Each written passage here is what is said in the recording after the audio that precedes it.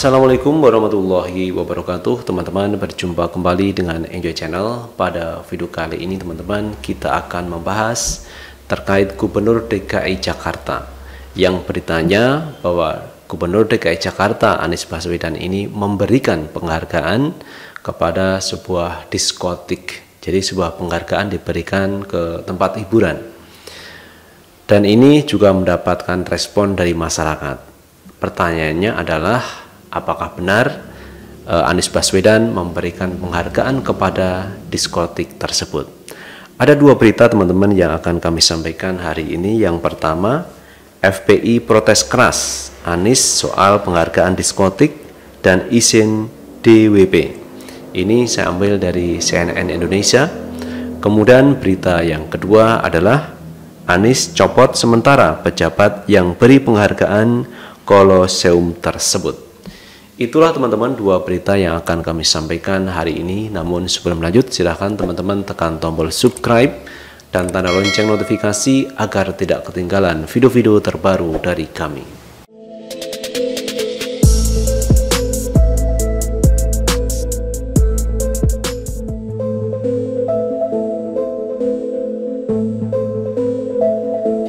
FPI protes keras Anies Baswedan soal penghargaan diskotik dan izin DWP.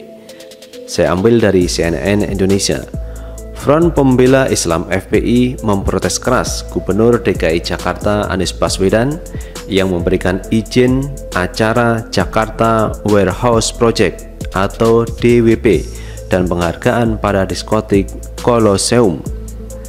FPI menyarankan Anies Baswedan agar cerdas dan kreatif dalam menjalankan tugasnya sebagai kepala daerah, terutama dalam meningkatkan perekonomian yang halal dan meningkatkan kualitas manusia. Dalam pernyataan sikapnya, FPI menilai DWP adalah acara hiburan yang memberi peluang terjadinya berbagai kegiatan maksiat. Acara tersebut dinilai berpotensi merusak generasi muda karena hanya sekedar pesta pora dan tidak ada manfaatnya. Anak-anak muda yang ikut serta dalam Jakarta Warehouse Project menurut FPI juga bakal mengenakan pakaian dengan aurat terbuka. Berpotensi pula mengonsumsi makanan dan minuman yang haram dalam acara tersebut. Sementara kebijakan memberikan penghargaan pada diskotik dinilai FPI sama sekali tidak berperan dalam membangun karakter masyarakat yang beriman dan bertakwa. FPI memprotes keras berbagai kebijakan Pemprov DKI Jakarta dengan dua contoh di atas. Demikian pernyataan tertulis FPI pada hari Minggu 15 Desember 2019. FPI mengingatkan Anies Baswedan bahwa pada 2017 ia didukung oleh umat Islam yang menginginkan perubahan mendasar di ibu kota. Perubahan itu dari yang hanya mengejar pendapatan daerah yang tinggi, pertumbuhan ekonomi, kehidupan glamor menjadi indeks pembangunan yang lebih mengedepankan aspek kehidupan yang religius dan nyaman bagi semua agama. Karena itu FPI mendesak Anies Baswedan mengkaji ulang dua kebijakan yang ditolak FPI itu, yakni memberikan izin DWP dan penghargaan diskotik. Menurut FPI, lebih baik Anies fokus mengembangkan wisata halal, religi, budaya, sejarah yang juga berpotensial di Jakarta. FPI mengingatkan Anies Baswedan bahwa umat Islam DKI Jakarta masih menaruh kepercayaan guna menciptakan ibu kota yang mengedepankan religius sesuai dengan sejarah Jakarta di zaman Fathahilah dan Pitung yang melawan kemaksiatan.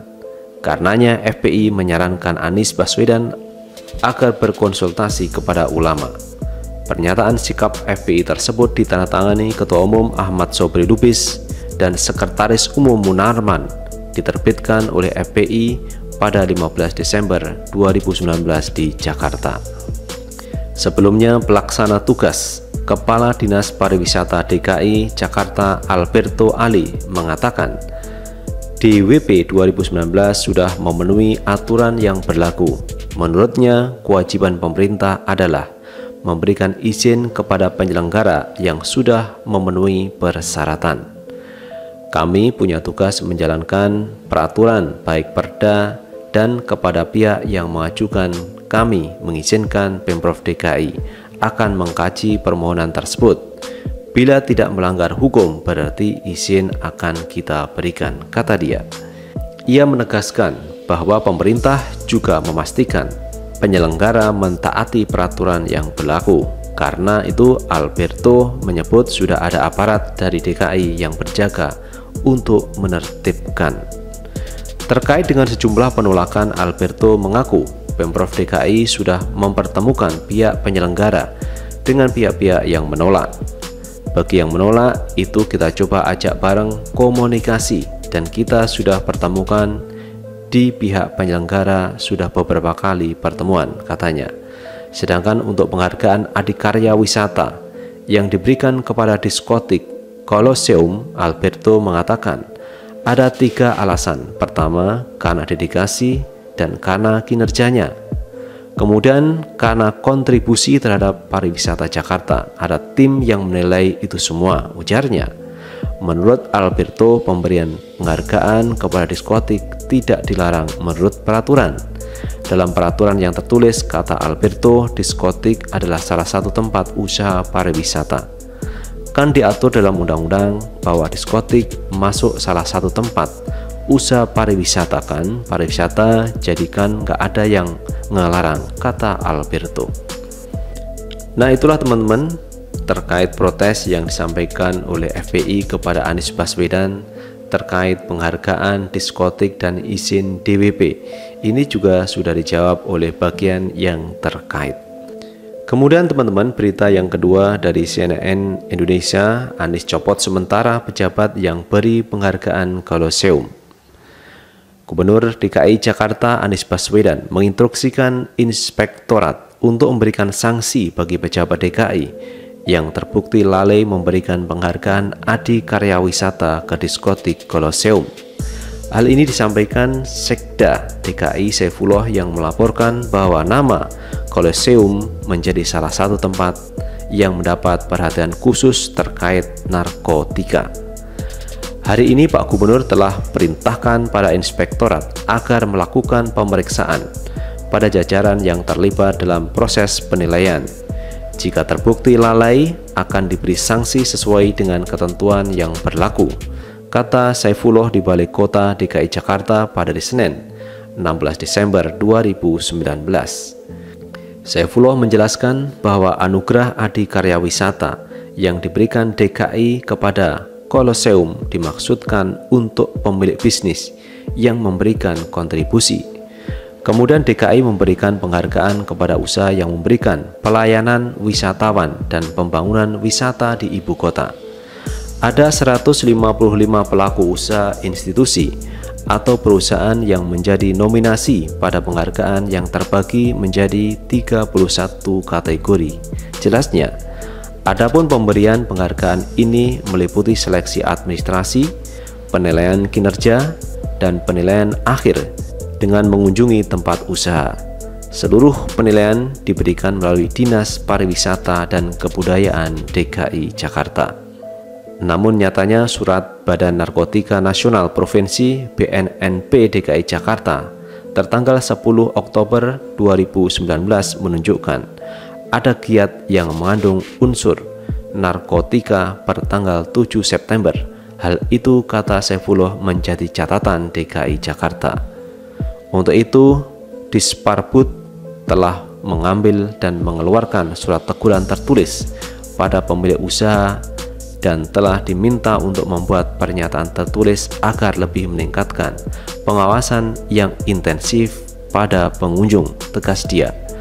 Berdasarkan fakta tersebut, maka pemberian penghargaan pariwisata kepada Colosseum dibatalkan, lanjut dia.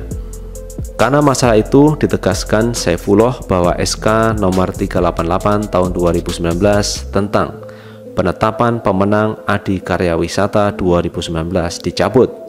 Ia juga mengatakan bahwa tanda tangan Gubernur DKI Jakarta Anies Baswedan di sertifikat yang diterima bukan tanda tangan basah. Jadi tanda tangan gubernur yang dicetak bukan yang basah atas nama Pemprov DKI. Jadi proses semua ini ada di Dinas Parbud, ujar dia. Terakhir, Saifullah memastikan bahwa penilaian atau ditinjau kembali di masa yang akan datang. Jadi, ke depan kita akan lakukan kajian secara ketat terhadap prosedur dan kriteria penghargaan Adi Karya Wisata jadi ini harus betul-betul lebih cermat lagi, kata dia. Nah itulah teman-teman sudah jelas kasus pemberian penghargaan kepada diskotik Kalaseum yang nyatanya penghargaan itu tidak diberikan oleh Anies Baswedan.